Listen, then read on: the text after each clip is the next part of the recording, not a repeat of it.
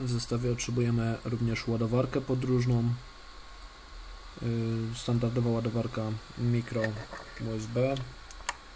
Yy, To znaczy po połączeniu z kablem mm, transmisji danych oczywiście, ponieważ e, coraz częściej producenci stosują taki, takie rozwiązanie, czyli krótka ładowarka, po której podpina się kabel do transmisji danych. On ma długość w wypadku 1,2 metra według y, opisu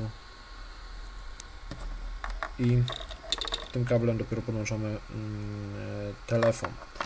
Oczywiście po odpięciu kabel służy nam jako kabel do transmisji danych. Nie wiem, czy jest to dobre rozwiązanie, natomiast coraz więcej producentów takie rozwiązanie stosuje. Osobiście preferowałem osobno kabel i osobną ładowarkę yy, USB, natomiast czy mikro USB, natomiast yy, w tej chwili trend jest właśnie w tą stronę.